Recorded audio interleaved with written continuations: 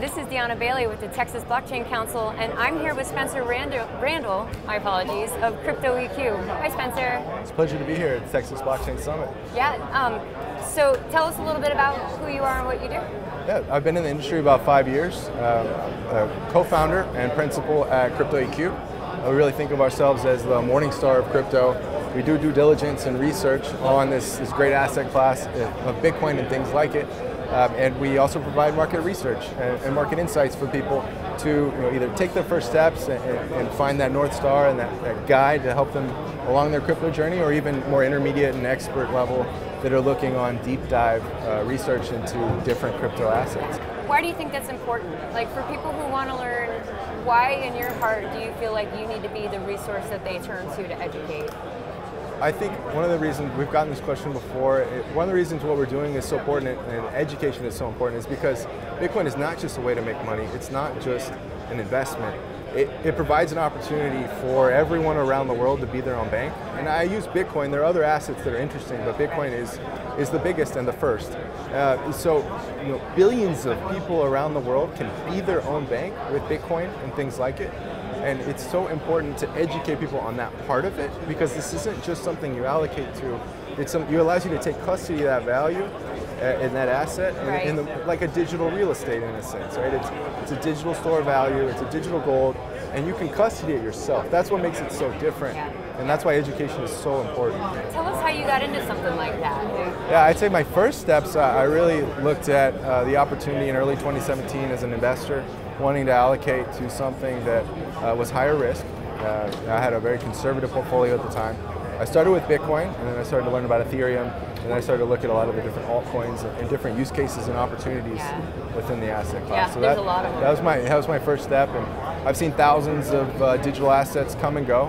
Uh, you know, Bitcoin and Ethereum have been uh, my strongest interest over the years, uh, but I, I, do think there's a, a, number of things that are coming online that are deserving of our team's attention and, and research.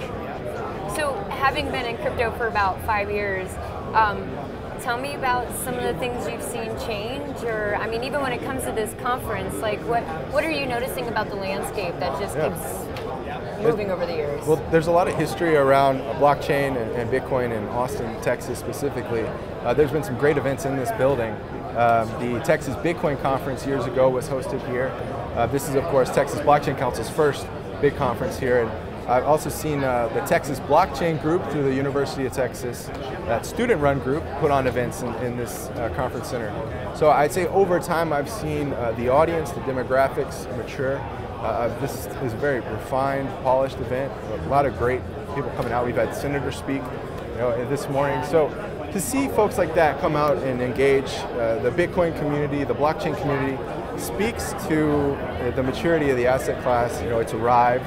People want to learn about it. Um, we need to learn how to, to navigate regulating it. Yes. Uh, we are all craving clarity there. Uh, so I'd say, in a word, it's maturing. Right, I, and I would agree with you in, in that aspect, when we're talking about the regulatory framework, where do you see the Texas Blockchain Council really fitting into like the importance of articulating that to, to government and it's education you know similar to crypto EQ you know, we want to educate everyone around the world on this asset class, provide due diligence, and make it easy to learn about and, and demystify this complicated thing.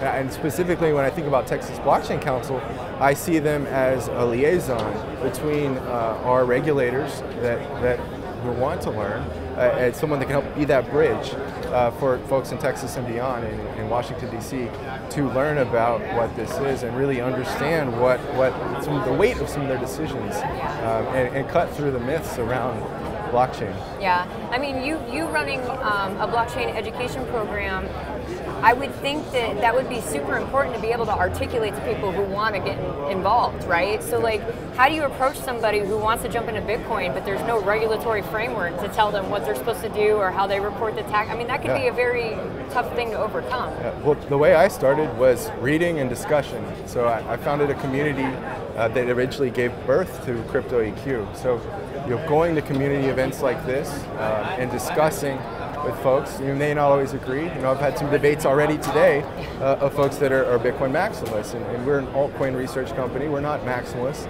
but we certainly see the value and can agree on the value of Bitcoin. For sure. It's everything else where there's a lot of discuss, a lot of discussion and yeah. good discourse. Uh, but you know, I see I see uh, Texas Blockchain Council as a great liaison to help people learn. Uh, you know, feedback. We've, we've met customers today that, are already subscribed to CryptoEQ. They want to you know meet the team and, and you know, humanize all this this research they've been reading. The feedback that we're getting is that uh, we're helping demystify a complex technology. So you can think of what we do as a filter on top of really technical research like reading white papers or engaging development communities. Right? So not everybody has that skill set or ability. So we, we, we distill things down and, and, filter it so that we can relate to the, the average person that may not be a developer. Right. Maybe, maybe they have some other occupation and they just don't have the time to understand that, that technical aspect of this, this asset class. Yeah, it, I mean, it can be a little difficult to digest if you're new to it, you know, so I, I understand that and empathize with it completely. Having, having been in Texas and in crypto for so long, how do you feel about Texas becoming the front runner for, for blockchain and crypto? I love it. I yeah? mean, I, born and raised about uh, you know, four hours away in Galveston, Texas. I live in Houston, Texas now. I've lived there for a decade. Nice. So, you know, deep Texas roots in my family and, and our team. And a lot of our team is onshore in, here in Texas. So it's, it's just great to see uh, Texas align with the blockchain movement and the Bitcoin movement. Yeah, I think it's pretty incredible that, uh, what was it, just maybe a month or so ago that they passed the bill that Texas charter banks can custody crypto now. And I mean, that's, that's a big deal. That's a front runner in the U.S. where other states are just shying away or not really knowing how to approach it, whereas Texas is just embracing it full on. Yeah. Several years ago, you know, Wyoming was the, the big uh, you know, open yep. space that where you, where you saw a lot of crypto companies flocking to, and over time, I, would love to see big. Uh, I'd love to see Texas uh, rise as, as an opportunity for companies to come uh, you know, innovate. Yeah, do you think we're headed that way with mining already? I mean, it feels Absolutely. like there's a lot of mining talk there's, here. There's a new group that's spun up in Houston uh, called the Houston Bitcoin Meetup, and it's uh, it's hosted through Meetup.com, and, and some of the supporters here today help back that organization and it's it's incredible. You walk in a room, it's it's not that different than this in terms of the demographics.